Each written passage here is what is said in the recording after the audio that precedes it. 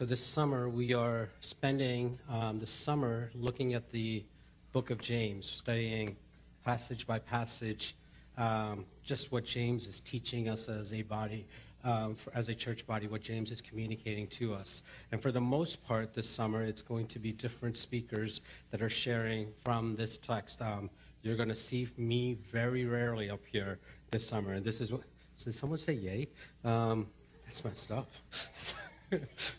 um, so, um, but, uh, but it is a joy to be able to see these guys that have been going through this cohort and studying these passages and how God has been speaking through them. And so we've already heard from Shannon and Emily um, and God, how God has taught them the passage and God, and then they've communicated with us. And so this morning, I'm going to be speaking from verse James 1, verses 12 through verse 18. James 1, 12 through verse 18. Someone once joked that I can resist everything except temptation. I can resist everything except temptation. And some of you guys were smiling when I said that because they speak a huge truth about the human condition. Temptation pays a visit to each of us every day, and most of us struggle to say no to temptation. It's like the guy who decided that he's going to go on a diet and exercise and give up um, sweets and sugars, but every morning he has to pass by this donut store on his way to work. And so the struggle was real. This was a store that he frequented all the time. And every morning it was a fight to simply drive by the donut store and go directly to work without stopping. And every morning he would pray.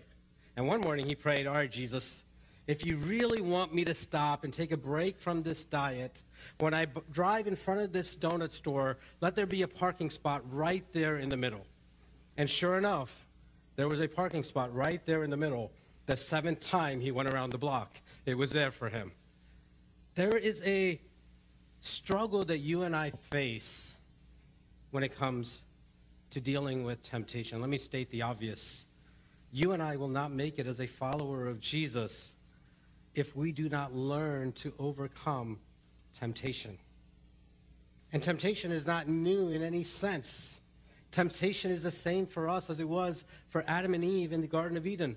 Satan tempts you and I the same way that he tempted Jesus in the wilderness. And from the very beginning, a battle has been raging for between for, for men and women, young and old, a battle that touches all of us sooner or later.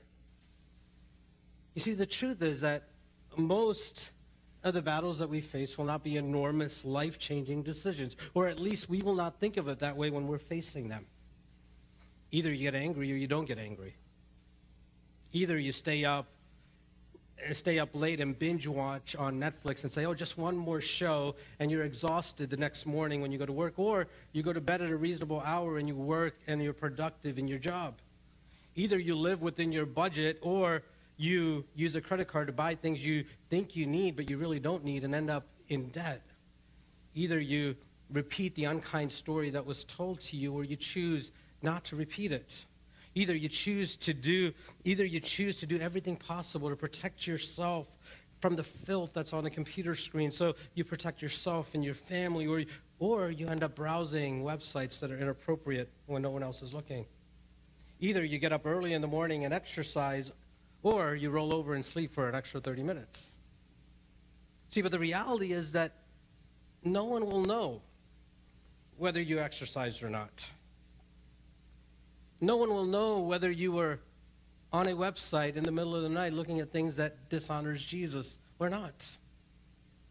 Really, no one will know other than you and maybe your family whether you're drowning in credit card debt or not. No one know, will know that the reason you're exhausted is because you were out late or watching just another episode of your favorite show on TV. No one will know when was the last time you opened your Bible and read God's Word, or no one will know when was the last time you prayed. No one will know these details except yourself. No one. And yet, God has ordained that our spiritual progress should not be measured by the huge battles that we face on occasion here and there, but by the thousands and thousands of daily skirmishes that we deal with when no one else will ever know about. So we got to ask the question how do we deal with the trials and temptations that we face in our life, and how do we respond when we're going through these trials? And in our passage, James, the little brother of Jesus, gives us a strategy of how to overcome the deadly draw of temptation. So let's read our passage together. Let me just highlight a few things that James says here in this text to us. James 1, verse 12. Blessed is the one who endures trials, because when he has stood the test, he will receive the crown of life that God has promised to those who love him. No one undergoing a trial should say, I am being tempted by God. Since God is not tempted by evil, he himself does not tempt anyone. But each person is tempted when he is drawn away and enticed by his own evil desire. And then, after desire has conceived, it gives birth to sin, and when sin is fully grown, it gives birth to death. Don't be deceived, my dear brothers and sisters. Every good and perfect gift is from above, coming down from the Father of lights, who does not change like shifting shadows by his own choice, he gave us birth by the word of truth so that we would be kind of first fruits of his creature. The first thing I want you to notice in our text that James tells us that in order for us to overcome temptation, we need to recognize its source. We need to recognize its source. Verse 13, James uses this word tempted. No one undergoing a trial should say, I'm being tempted by God. See, God tests believers and unbelievers. He tests, he tries a believer's faith. We see that in the Old Testament. God tested Abraham by telling him, hey, sacrifice your son Isaac. God tested Job by allowing Satan to inflict all sorts of diseases and calamities in his life. He tests the righteous, he tests the wicked, he tests them to reveal their respective characters. With his people, with God's children, the purpose of God's test is to refine our faith like gold or silver, but because of indwelling sin, because of the existence of Satan, because of, we live in a corrupt world, every test that we face can also become a temptation to sin. And so it's important for us to recognize that temptation never comes from God. So we must never blame Him for tempting us. You know, it's always easy to blame God for our problems. God, you put me in this situation. God, you gave me those desires. God, you knew that I was broke. God, you knew that I was weak in this area. Listen, God is never the source of your problems. Never. You cannot go there. He doesn't tempt people. He never puts you in a situation where you have to sin. Never.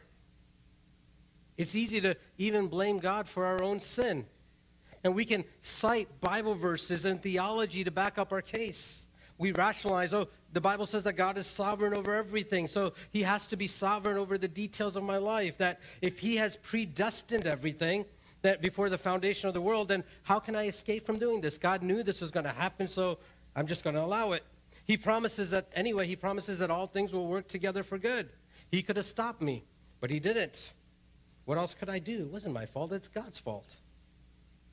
It helps us to remember that in that verse in James 1, that word tempted can be translated as trials or temptation. It can be translated both ways. The fact teaches that in your life, any event that happens in your life can both be a trial and a temptation. It can be a trial and a temptation. God sends the trial, and Satan can turn it into a temptation in your life. For instance, you get sick, a chronic sickness. Could that sickness be a testing from God? Absolutely It is always a test from God to purify your motives, your heart, to cause you to draw close to Jesus. Many good things have been accomplished when through sickness where you're drawn to Jesus. But does Satan work through sickness? Absolutely, he does. Through the exact same sickness that God is using to draw you to him, Satan will use that sickness to tempt you to despair, to anger, to bitterness, to depression. God had a good purpose in mind, but Satan is working through that which God meant for good to turn it around for evil. Or you lose your job. You say, could that be from God? It could be. If you lose your job, God probably has something else better in store for you. And He does. Often He does. He may have something even better than what you've imagined. He certainly, in that process, wants to build some spiritual character in your life, to draw you to Jesus, to make you dependent on Jesus. And yet, through the struggle of losing your job, which is a trial from God, a test from God, in that moment, Satan will tempt you to be angry at God, to despair, to lose hope, to be discouraged.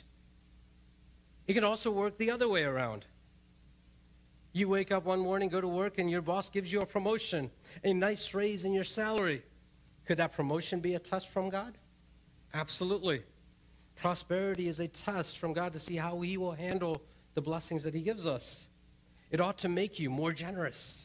It ought to make you more loving. It ought to make you more sensitive to the needs of others around you because God has given you more so that you can be a blessing to more.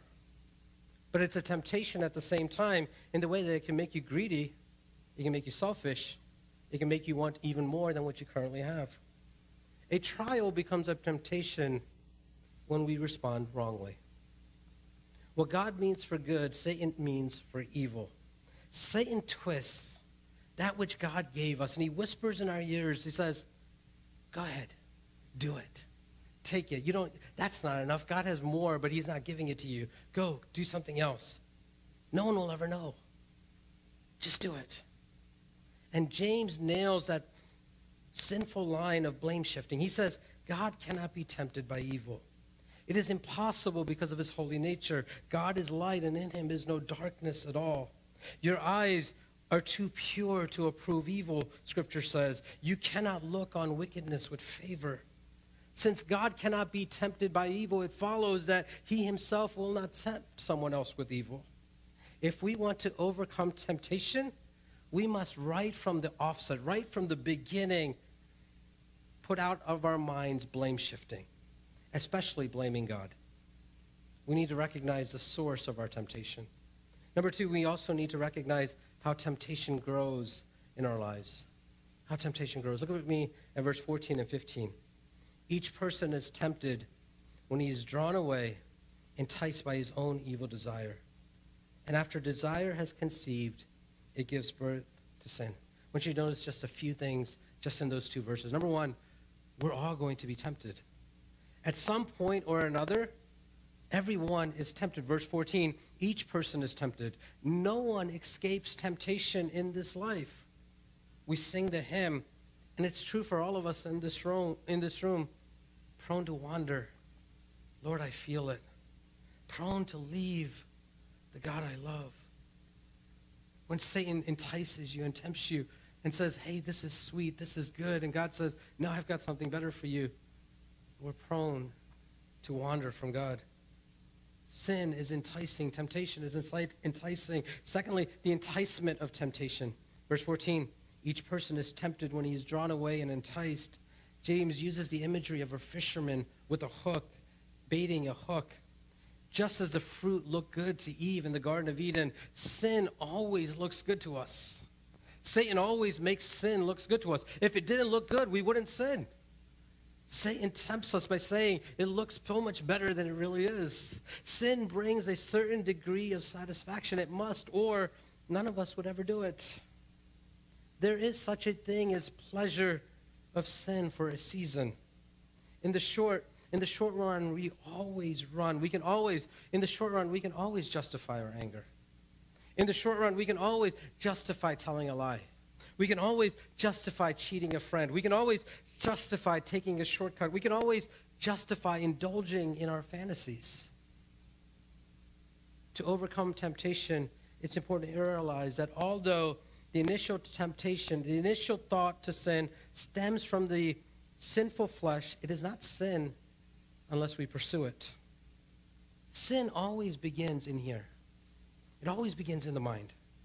No one ever falls into sin without first entertaining it in his or her mind first.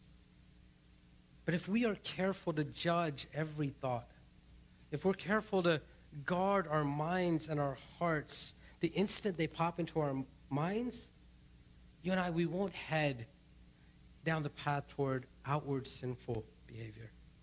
One of the most gruesome passages in Scripture, and yet one of my favorite passages in Scripture, is Psalm 137, verse 9. It's pretty graphic. And it's actually shocking to find in the Bible. Here's what it says Happy is he who takes your little ones and dashes them against the rocks. Yeah, that's in Scripture, in the Psalms. Um, the psalmist says, hey, let's take your babies and smash them against the rocks. So let me give you context here before you say that I've taught you how to smash babies this morning. The Israelites are in captivity in Babylon. They've been overtaken by this huge empire that's come in, overtaken them, taken their people, brought them to exile, and now they're suffering in bondage.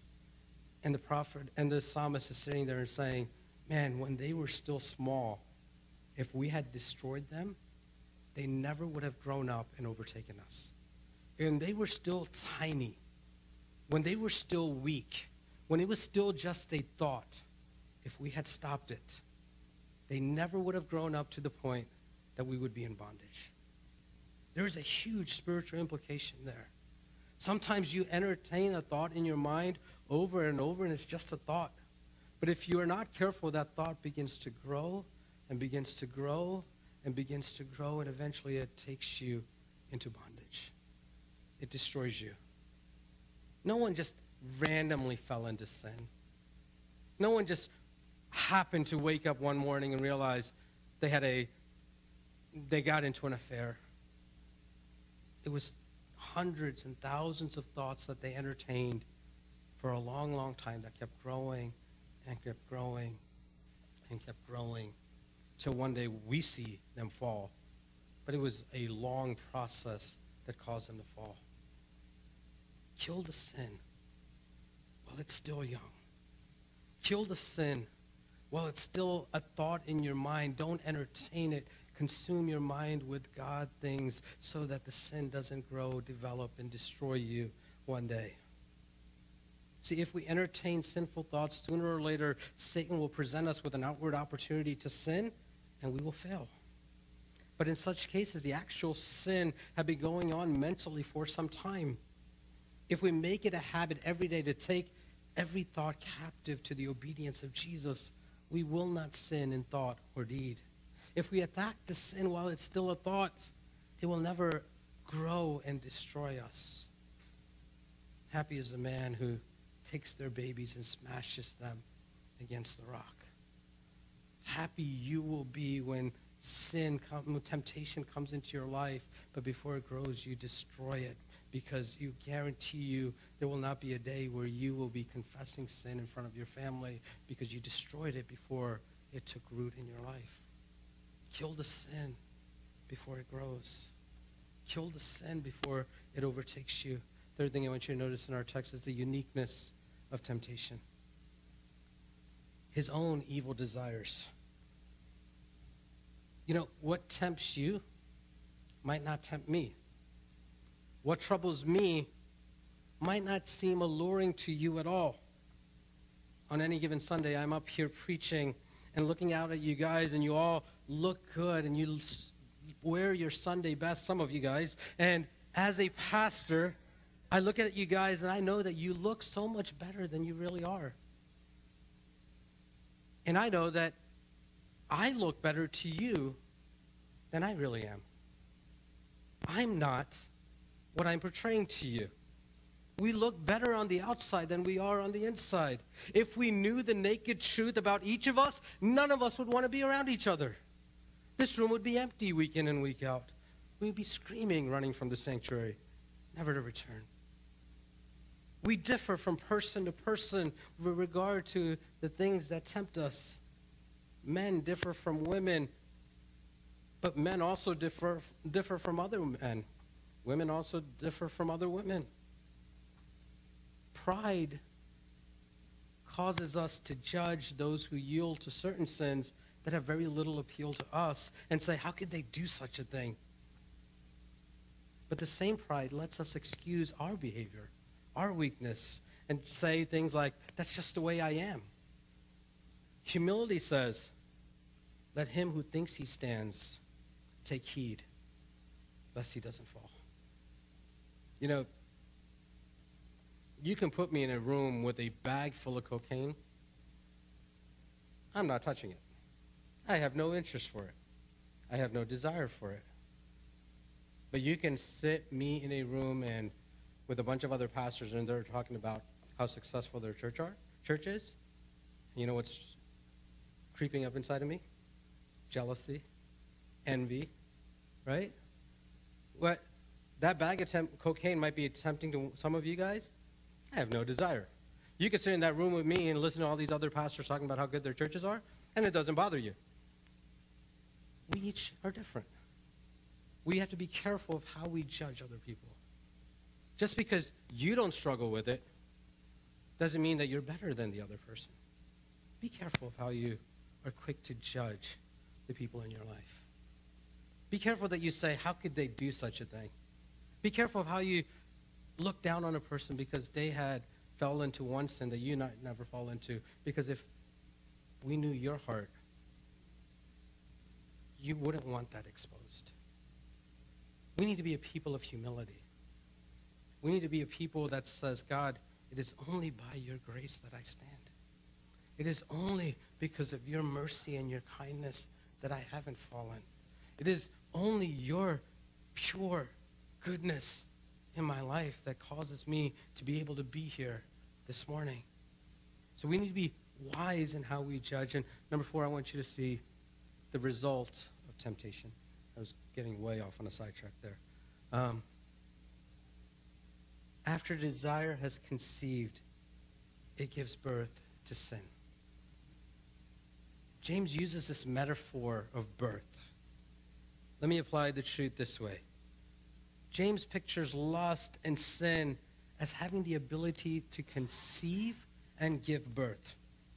And while the Bible is strongly against aborting babies, when lust conceives, we need to abort that as soon as possible. We've all seen a tree growing out of a concrete sidewalk where it had split the concrete. It began as a tiny seed falling into a crack, but that seed had life in it. And the power of that life produced a tree that broke up the sidewalk. Temptation has that kind of destructive life in it. Don't let it take root in your life. You and I, we cannot trifle with temptation. We can't mess with it. We cannot play with it. We cannot dabble in it. We cannot entertain it because temptation leads to desire that leads inevitably to sin that leads, Scripture says, to death. verse 15. Because in this verse, you'll see the results of allowing temptation to become sin in your life. Verse 15 After desire has conceived, it gives birth to sin, and when sin has fully grown, it gives birth to death. Twice in this verse, James uses the imagery of birth. Evil gives desire, gives birth to sin, sin gives birth to death. No, we prefer not to hear this. What could be happier than the birth of a baby? We decorate, we plan, we pray, we save some money, we take some pictures of the sonogram and post it on Facebook. We have baby showers. We have gender reveal parties. We send out elaborate birth announcements. It's hard to find anything more exciting, more wonderful than the birth of a baby. And yet, James uses the happy image of childbirth to remind us of an awful reality. Our evil desires, desires will grow over time. They will take a life of their own. And one day, those desires will give birth to sin. And when sin is conceived, in the heart, it only leads to death death to us, death to our relationships. That's what James means when he says sin gives birth to death. Sin kills us. Sin kills every human relationship. Sin kills our relationship with God. And when sin is fully grown, it gives birth to the monster of death. We would be better off if we had stopped to consider the impact of our actions. What starts off as a fantasy in our mind that no one else knows about becomes a desire that becomes an overcoming impulse that leads to a foolish action that results in personal tragedy, shattered lives, hurting children, ruined careers, broken marriages. Worst of all, we end up becoming separated from God who made us. We're lost And the only person we have to blame is ourselves. Kill the sin before it grows and kills you. You know, if James ended the passage there, all of us would be in despair because I don't know about you, but I've had a lot of defeats when it comes to temptation in my life. But James doesn't leave us there. In the last section of our passage, he actually gives us three things we need to remember when we're tempted and going through trials in our lives. Look at verse 16. Don't be deceived, my dear brothers and sisters. Every good and perfect gift is from above. It comes down from the Father of lights who does not change like shift, shifting shadows. By his own choice, he gave us birth by the word of truth that we would be a kind of first fruits of his creatures. In a sense, his whole letter is how we're supposed to respond properly when we're under pressure, when we're going through trials and tribulations. He's already reminded us that trials are a necessary part of our spiritual growth, that there is a blessing reserved for those who respond rightly in the midst of trials and temptation, that do not blame God when hard things are going on. But he tells us three things in those three verses about how to overcome temptation. Number one, he says, Remember God's love. Remember God's love. Verse 16, he says, Don't be deceived, my dear brothers and sisters. Notice he calls them dear brothers and sisters beloved brothers in some of your translations. Practically speaking, James doesn't know all these people that he's writing to. He has no idea who they are. And he's not writing and simply saying, hey guys, I love you guys. No doubt that's true, but the phrase is more than just, hey, I love you. James is reminding his readers that they are greatly loved by God. My dear brothers and sisters, you are loved by God. They are brothers and sisters in Christ who experience the deep love of Jesus personally. He's saying, hey, brothers, hey, sisters, when you are tempted, when you are discouraged, when you're going through hardships, when the enemy is attacking you, remember that you are loved by God. Remember how much God loves you. As one preacher said it, the pearl of the unredeemed sinner is unbelief. But the pearl of the redeemed sinner is misbelief. Misbelief. See, if you're a follower of Jesus and you're living in sin, it's because of misbelief. You misbelieve when we forget what it cost God to save you. We misbelieve when we forget the pit from which we and I have been rescued. You misbelieve when we accuse God of mistreating us. You misbelieve when you doubt that God is still with us. You misbelieve when you accuse God of abandoning you. The pearl of a redeemed sinner is misbelief. And listen, there is no cure for misbelief except place, replacing falsehood with the truth in those moments when doubt and despair begin to sink in, when those moments when Satan begins to tempt you, you need to speak to yourself and remind yourself of the promises of God that He is a God who will never leave you, that He is a God that will never forsake you, that He is a good shepherd, that He leads us and He guides us, that He restores us, that He renews us, that He leads us in paths of righteousness for His name's sake, that even though we go through the valley of the shadow of death, we have nothing to fear. Because he is with us. His rod and his staff, they comfort us. That he promises to prepare a feast before our enemies. That he will make sure that we are nourished and supplied and cared for, and our enemies are going to see us. And that surely goodness and mercy will follow us every single day of our lives. When you are tempted and when you're brought to despair, you need to speak God's truth into your life and remind yourself that God is an absolutely good God. You need to in those moments when you misbelieve, you need to remind yourself that you are loved by God. That you, even though you were a great sinner, that Christ Himself had to die for you. You were such a sinner that Christ Himself had to die for you. But you were so loved that Christ Himself died for you. That He promised that even when we are unfaithful, He will remain faithful. He promises that he who began a good work in you will be faithful to complete it. He promises that greater is he that's in you than he that's in the world. You have to speak God's truth to your life. That He said that you can cast all of your worries and all your anxieties on him because he actually does care for you. That he promises to supply every need that you have according to the riches in glory. He promises that you are loved by God. You are loved by God. When you're tempted, remember that you are loved by God. When Satan begins to entice you with things that you know are not from God, remind yourself of how much God loves you. Number one, two, remember God's goodness. Remember God's goodness. Look at verse 17. Every good and perfect gift is from above, coming down from the Father of lights who does not change like shifting shadows. Every good in this world ultimately comes from God. If it's good, God made it, or God gave it, or He sent it. The familiar words of the doxology praise God from whom all blessings flow. I wonder if we really believe that. Do we realize this? The Acts of the Apostles says that in him we live and move and have our being. Do we understand that right now we're alive because he gives us air to breathe and lungs to take in? That if God had withdrawn his hand of blessing from us, that not one of us would take another breath.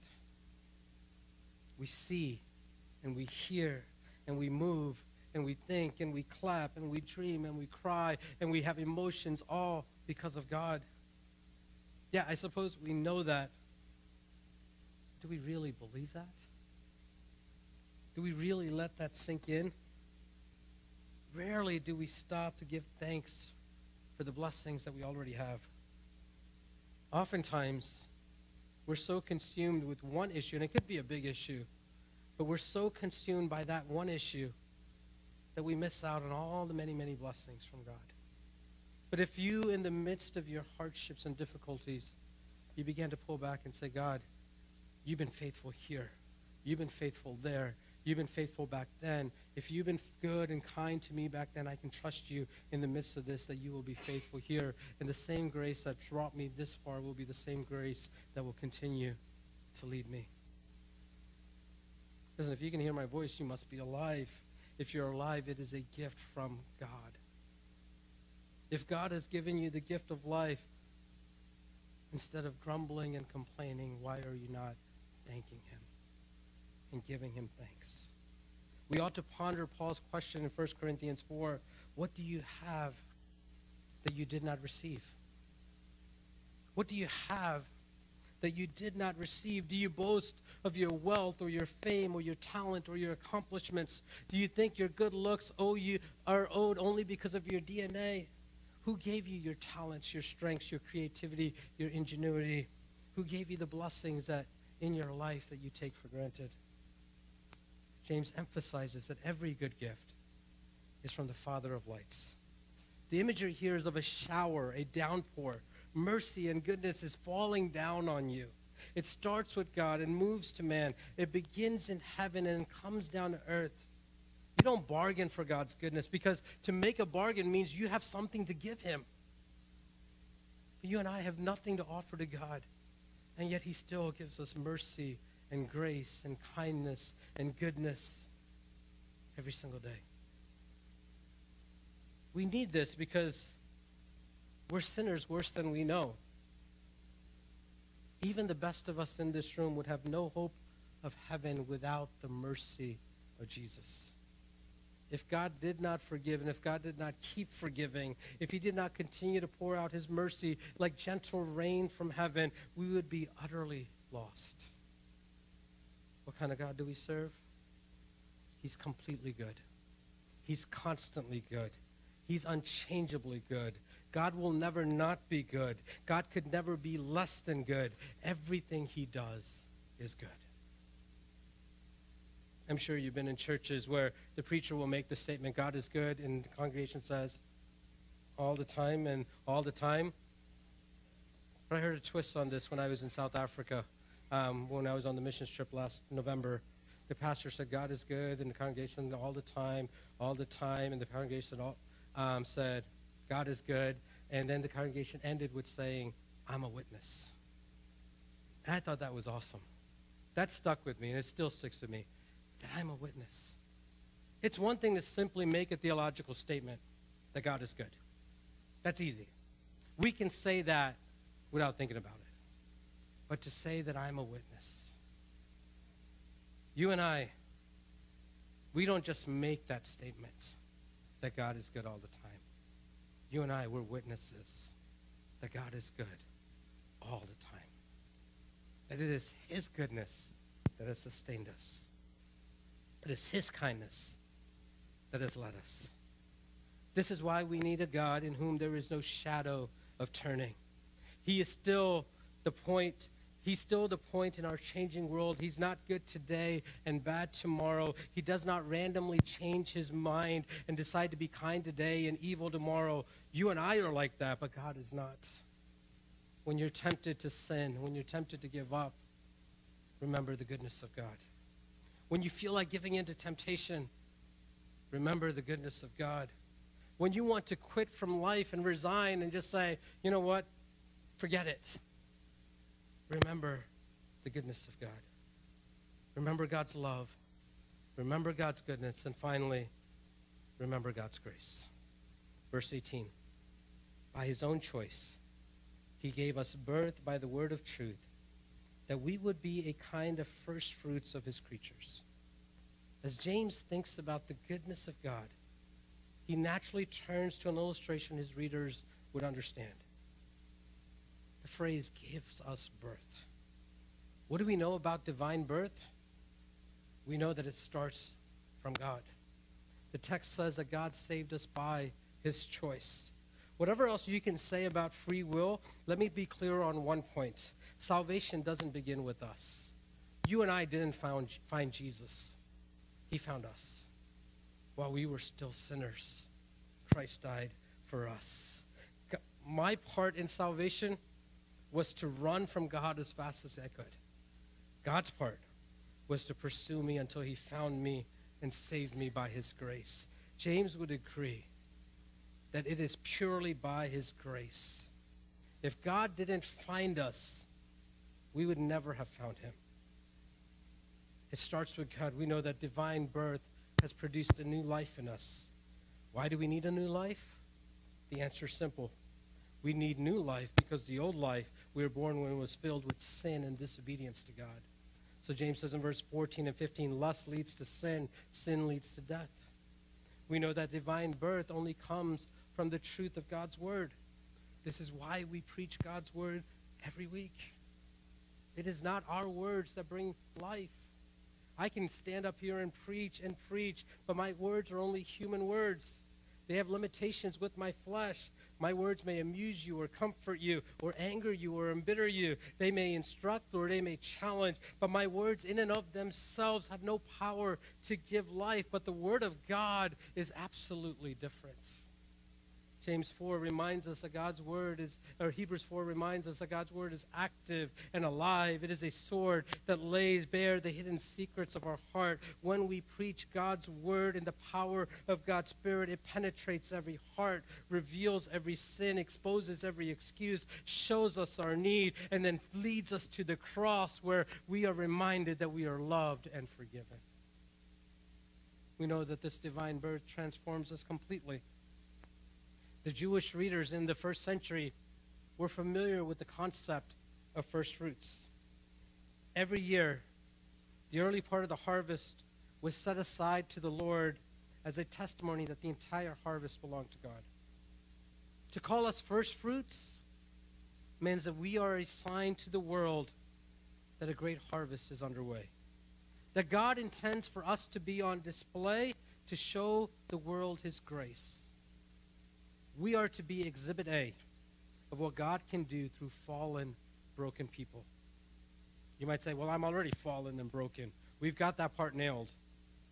But God's job is to show his grace through people like us. And he's working at that day and night to make us more like Jesus. Listen, that puts our trials into perspective. See, when it's all said and done, at the end of the day, you will discover that nothing in life was just random. If your life seems random today, you may be, you may be sure that it's not finished. We're never really finished in life because God is always doing more work in each of us.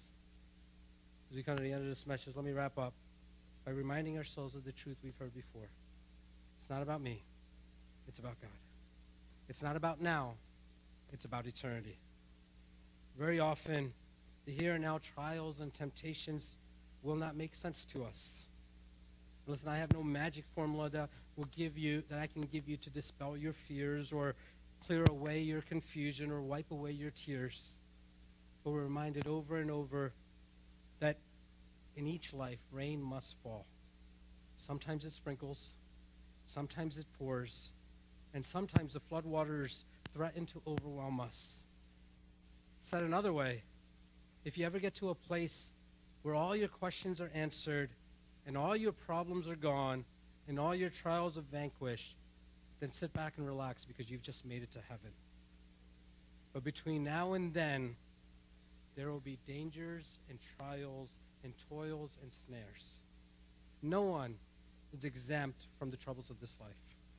But the grace that has brought us this far is the grace that will lead us home to. Hope is tough. You can't really have halfway hope. Either you hope for something or you don't. Our God is good. He's faithful. He's gracious. And he loves to show those attributes to us if we pay enough attention to catch them. We've been trying to pay attention to those attributes, to hope more in what is unseen than in what is seen. I'm glad our hope doesn't depend on the fickle sway of circumstances, but on the solid rock that is God who never changes. This is what James is talking about in this passage. When temptation comes, when Satan tries to draw you away, remember God's love. When Satan says that what I'm offering you is so much better than what God can give you, remember God's goodness. When he says, hey, God is really withholding things from you, remember God's grace.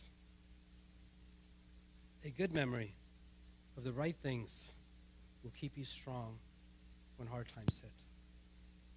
Let me close with this illustration. Imagine I had a cup, and I was going to do this, totally forgot. Um, imagine I had a cup of water that was full of mud and dirt, and it was just disgusting to look at. How do I get that dirt out? I take a cup of clean water and begin to keep pouring and keep pouring and keep pouring till the junk is gone. That's the quickest way to make transformation. And that's the parable of the Christian life. All of us are full of junk. Jesus says it. It's out of our heart that comes anger, jealousy, malice, envy, murder. All of us are like a big jar of muddy water when, come, when we come to Jesus. Some of us are muddier or slimier than others, but all of us are unclean when, we, when Jesus finds us. And it is the work of a lifetime to replace the muddy water of our sinful nature and inclination with the pure water of God's holy character. And so as you draw to him, he pours more of his spirit into you. He pours more into you. And he pours more of his love into you. And he pours more of his grace into you. None, nothing changes overnight. You don't wake up one day super angry and all of a sudden the next day you're just a transformed person. How do you change? God keeps pouring more of his love, more of his grace, more of his spirit in you. You're not where you need to be, but thank God you're not where you used to be. And the only reason you're not where you used to be is because God has been pouring so much of his grace and kindness into your life day in and day out. And so we pray, oh God, pour your love into me and drive out the anger. Oh God, pour your holiness into me and drive out the greed. Oh God, pour your purity and your holiness into me and drive out my lust. Pour your mercy into me and Wash away my envy. Pour your patience into me, and my impatience will vanish. Pour your grace into me so that I can forgive. All that you are, Jesus, all of your shining beauty, all of it, come in this moment and fill me, consume me. Hebrews 12 says it this way let's fix our eyes on Jesus. As we prepare to take communion, can I invite you to fix your eyes on Jesus? Fix your eyes on the Son of God who struggled in the wilderness and won the victory over the devil, who won over temptation.